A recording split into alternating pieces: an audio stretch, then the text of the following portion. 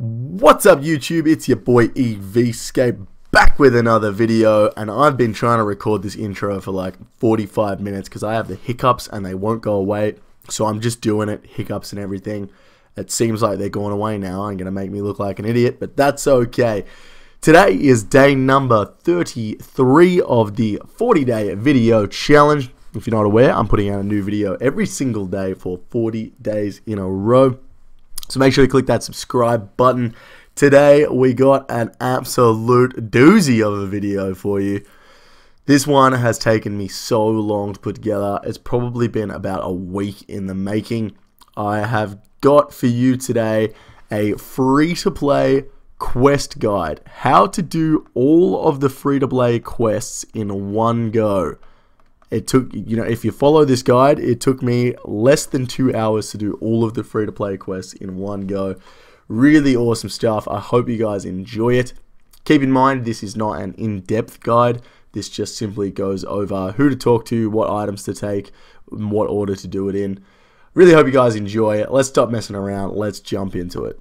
Alright guys, welcome to my guide on how to do all of the free to play quests in one go except for Dragon Slayer because you need to complete the rest of the quest to even start Dragon Slayer. This is probably going to be a pretty lengthy video and you'll notice that I'm going to be saying things quite quickly. This is to cut the time down. So keep in mind this is not an in-depth quest guide at all. This is just to show the best order to get all of the quests done. If I'm going a little fast for you guys, be sure to pause the video and go over it again. So the only requirements for all of the free-to-play quests is to have 10 mining, and what I'll do now is put up a list of all of the items you require to complete all of the quests. Be sure to pause the video so you can purchase all of these before you start. So you want to start at the bank in Lumbridge Castle, withdraw your bucket of milk, pot of flour, egg, some coins, need more than 30, and 20 balls of wool unnoted. Head down the steps, speak to Duke Horatio on the second floor to start the Rune Mysteries quest. He will give you an air talisman. Head to the bottom floor and speak to the chef in the kitchen to start the cook's assistant quest, and then speak to him again to finish the quest. Head north to the sheep field and speak to Fred the farmer to start sheep shearer. Speak to him again to finish the quest. Then you're going to want to head to Al Kharid to speak to Hassan in the castle to start the Prince Ali rescue quest. On your way out of the castle, speak to Osman for the next step.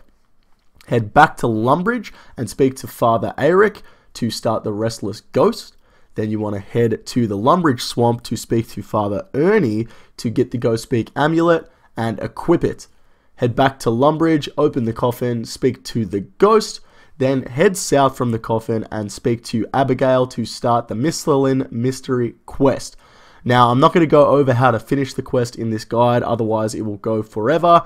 You can just type in on Google uh, Misthalin Mystery Guide and it will come up on OS Wiki. Uh, easy guide to follow on there. If you guys really don't understand it, just let me know. I'll make a separate video of a guide on how to finish the quest. Once you finish the Misthalin mystery quest, head to Draynor Village and speak to Morgan to start Vampire Slayer. Head to the bank and make your inventory have an air talisman, all four beads, a rope, yellow dye, pot of flour, bucket of water, ashes, three balls of wool, red berries, soft clay, white apron, coins, and a red berry pie. Now, make sure that you listen to the items I'm telling you to get out and don't look at my inventory because in some of the clips I forget to take a few things. So I will write up on the screen and say out loud the things that you need to take. Don't look at the inventory on the screen. Once you have all that, head north and speak to Leela and make sure you go through all of the chat options. Then head to the closest house and speak to Ned. Get him to make you a wig then go and speak to Aggie to make you the skin paste. Once you have the skin paste, head over to the jail and speak with Lady Keli about anything except Katrine. She'll give you the key that you can imprint on your soft clay. Then head to the Wizards Guild, head to the top floor and speak to Wizard Mizgog to start the Imp Catcher quest. Speak to him again to finish it. Head down to the basement and search the altar to get the skull. Run away from the skeleton and then speak to Sedridor and give him the air talisman. He'll give you a research package. Then head to Port Sarim and speak to Redbeard Frank.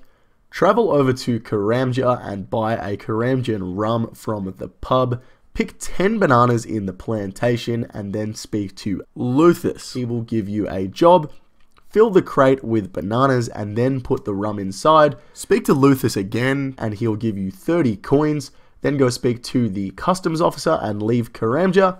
Head inside the food store just to the left and make sure you're wearing your white apron and attempt to go through the back door. He will then offer you a job. You then go through and search the crate for the rum. Speak to Redbeard Frank and he will give you a chest key. Then head to Falador and speak to the squire in the center of the White Knight's castle. You're then going to want to head to a bank, grab out your Eye of Newt, burnt meat, and an onion. Keep in mind that a burnt chicken does not work. I found this out the hard way. Head to Rimmington and speak to Hetty to start the Witch's Potion quest. Kill a rat to get a rat's tail.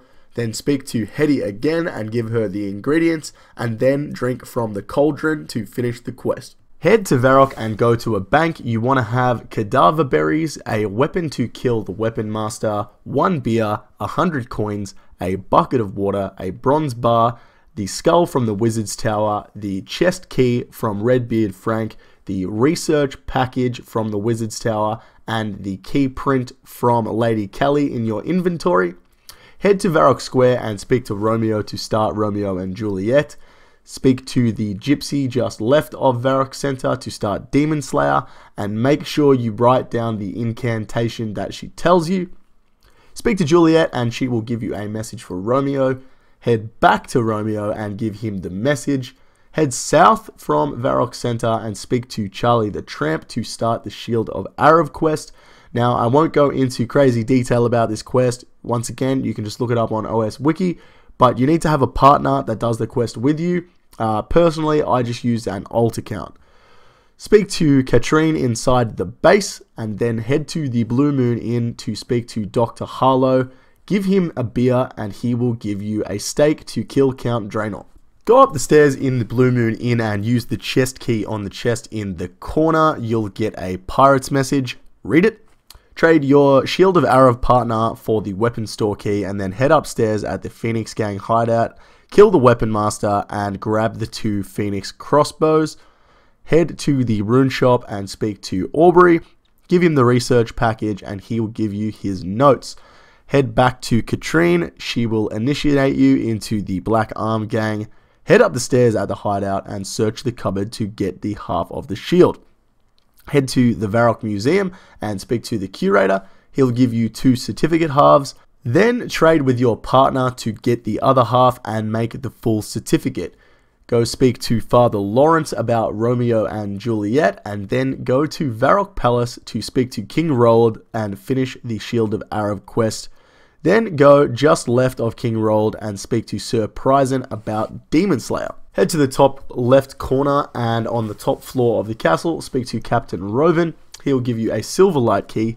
Speak to Reldo in the palace library about the Imcando dwarves. Then head over to the outside of the kitchen in the palace and use your bucket of water on the drain. Head down to the Varrock sewer and grab the second silver light key and then head back to Varrock Center and speak to the apothecary in the potion shop. He'll give you a cadaver potion. Head up to Juliet and give her the cadaver potion, and then head back to Varrock Center and speak to Romeo to finish Romeo and Juliet. After that, you want to head back to Al Kharid and speak to Osman. He will take your key print and then go back to Lumbridge. Use your skull on the coffin to finish the Restless Ghost. Head back to Draynor Village and go to the bank. You want to have a spade, the wig, a pink skirt, the skin paste, a hammer, garlic, the stake, rope, three beers, and some food for lower levels. Speak to Leela again and go through all of the chat options. Head over to the jail and speak to Joe.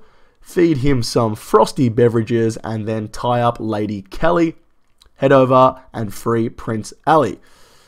You can then head up to Draynor Manor and speak to Veronica to start Ernest the Chicken.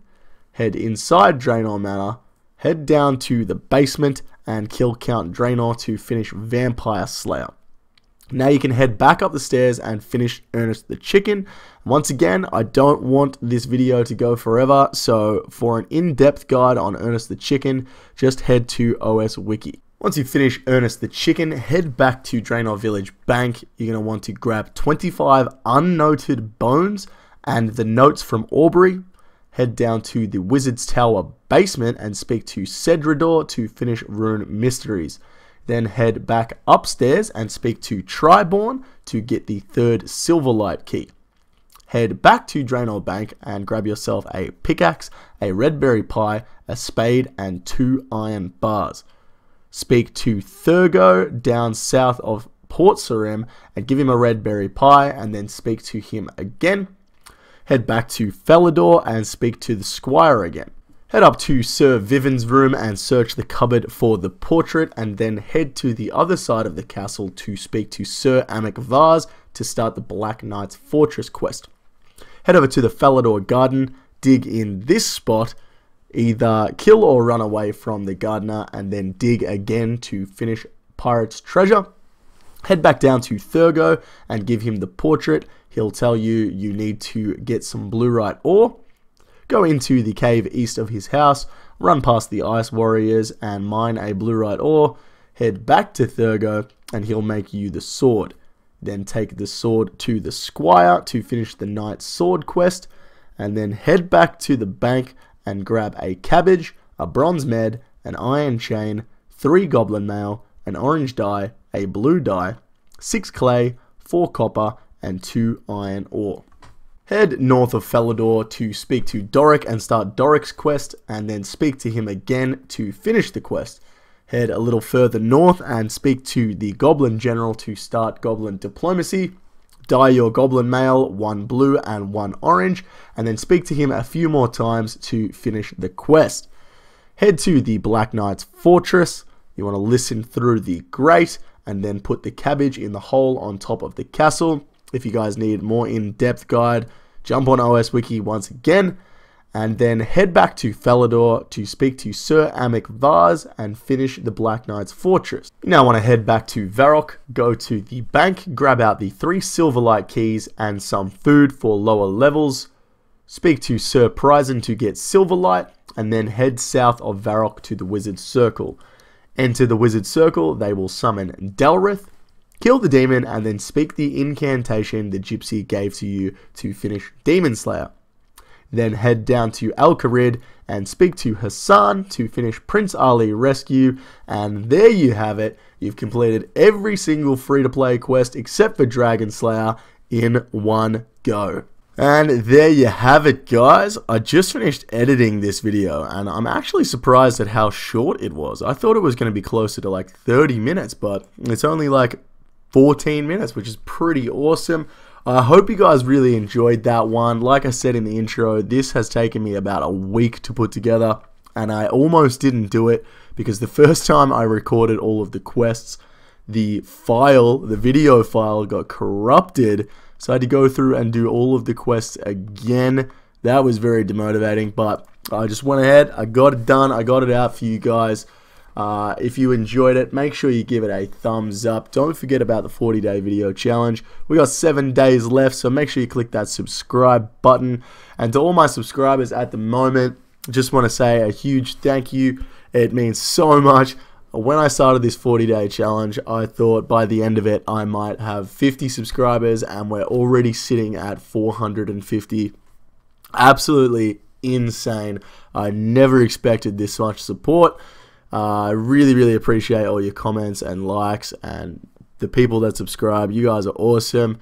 So thank you very much for that. That being said, that's going to be the end of the video. Thank you very much for watching. I'll catch you guys in tomorrow's video. Take it easy.